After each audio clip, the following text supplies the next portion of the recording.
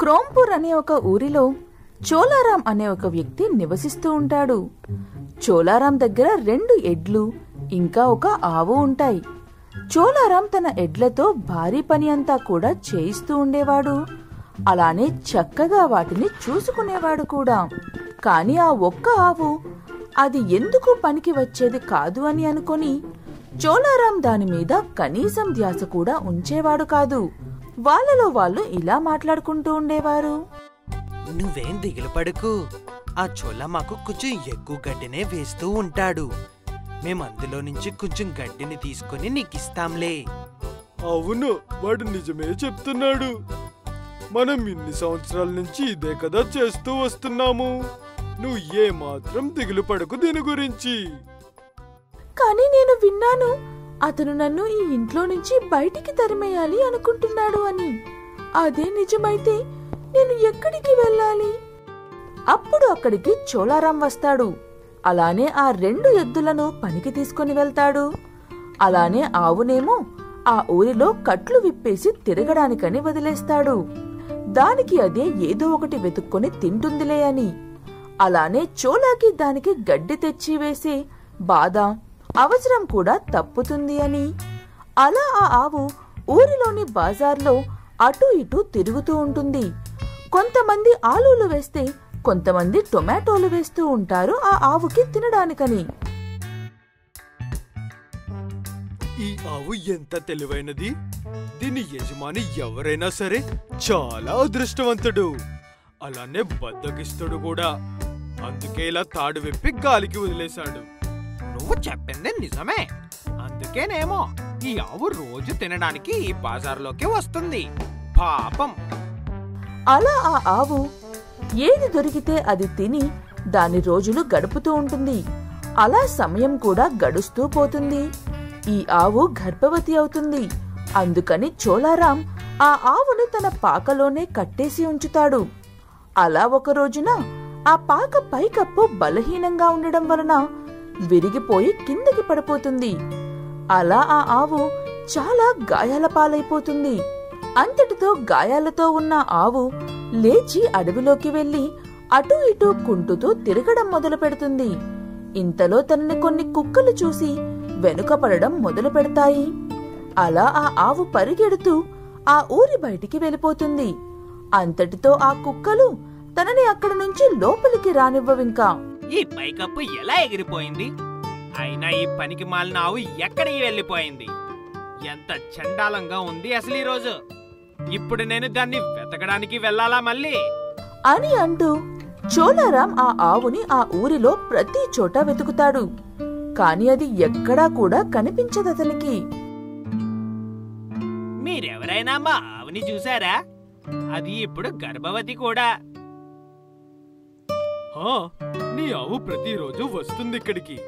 కానీ ఈరోజు మాత్రం రానే లేదు. ఆ అవును. నేను కూడా చూడనే లేదు ఆ ఆవుని ఈ రోజు. వస్తే కనుక ఖచ్చితంగా ఏదో ఒకటి తినడానికి ఇచ్చేవాళ్ళం మేము. సరే అంటూ చోళారాం దాన్ని వెతకడానికి ఊరి బయట వరకు వెళ్ళిపోతాడు. అప్పుడు తనకి తన ఆవు అక్కడ గాయాలతో పడి ఉండడం కనిపిస్తుంది. కానీ దాని ముందు కొన్ని కుక్కలు ఉంటాయి. చోళారాం వాటిని దాటి ఆ ఆవు దగ్గరికి వెళ్ళాలి అని ప్రయత్నిస్తాడు. కాని ఆ కుక్కలు ఆ ఆవుని అతని వైపు దగ్గరికి రానివ్వు. అలా అని చోళారాంని కూడా ఆ ఆవు దగ్గరికి వెళ్ళనివ్వవు. అందుకని ఆ కుక్కలను కర్రలతో లేదా రాళ్ళతో కొడదామని ప్రయత్నిస్తుంటే ఆ కుక్కలు చోళారాం మీదకి వచ్చేస్తాయి. ఇప్పుడు నేను ఏం చేయను? ఈ ఆవు ఇలా పడి ఉంటే ఇక్కడ చనిపోతుంది. నేను వెంటనే ఊర్లోకి వెళ్ళి ఎవరైనా సాయంని అడుగొస్తాను.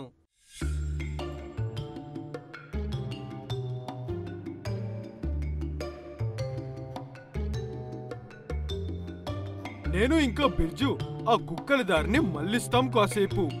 ఈ లోపు నువ్వు ఆ ఆవుని తీసుకొని పారిపో ఇక్కడి నుంచి. సరే అంటూ బిర్జు ఇంకా ఆ కూరగాయలవాడు కలిసి ఆ కుక్కలను ఆవు దగ్గర నుంచి దూరంగా తరిమేస్తారు.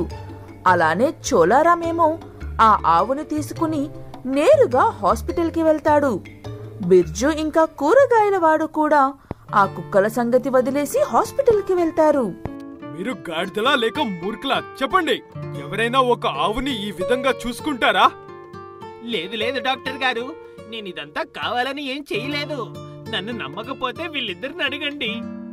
అని అంటూ ఆ ఆవుకి వైద్యం చేయించి అక్కడ నుంచి ఇంటికి తీసుకొని వెళ్ళి అప్పటి నుంచి ఆవైనా ఎడ్లైనా అన్నింటినీ సమానంగా చూసుకోవడం మొదలు పెడతాడు చోళారాం. బేతాల్పూర్ అనే ఒక ఊరిలో బాద్షా అనే ఒక అనాథ ఎద్దు నివసిస్తూ ఉండేవాడు. బాద్షా చిన్నప్పటి నుంచి కూడా అనాథనే. అలానే అతను తనకి తానే ఈ పేరుని పెట్టుకుంటాడు. ఒకానొక రోజున ఖచ్చితంగా అతను బాద్షా అవుతాడు అనుకుంటూ. కాని బాద్షా సమయంతో పాటు నిర్లక్ష్యంగా ఇంకా బాధ్యత లేకుండా తయారవుతాడు. కానీ నువ్వు నాకు మాట ఇచ్చావు కదా. ఈ రోజు నాకు తప్పకుండా సాయం చేస్తాను అని. ఇప్పుడేమో అకస్మాత్తుగా ఇలా అంటే నేనేం చేయగలను? అది కూడా ఒంటరిగా? చూడండి బాబాయ్ గారు నేను మీకు స్నేహితుడేమీ కాదు.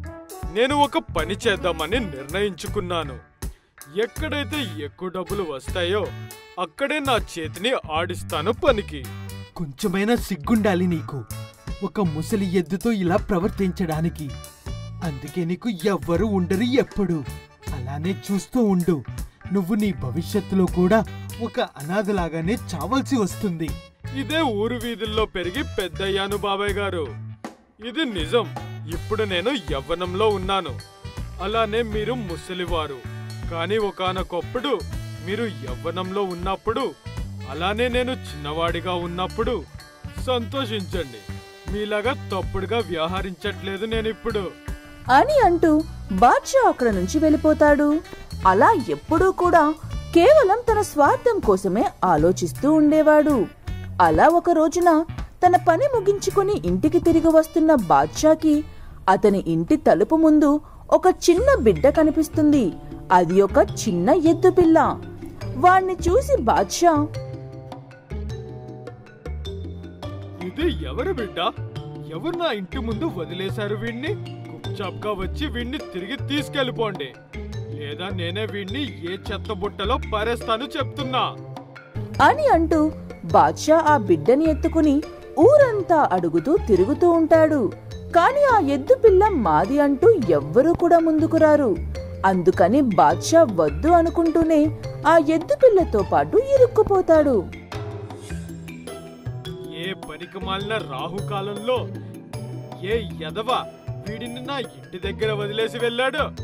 ఇప్పుడు నేను ఏం చెయ్యను వీణ్ణి? చాలా చిన్నవాడు. ఒంటరిగా ఇలా వదిలేసి కూడా వెళ్ళలేను కదా? అని అనుకుంటూ బాద్షా చాలా వింత పద్ధతిలో ఆ ఎద్దు పిల్లని చూసుకోవడం మొదలు పెడతాడు.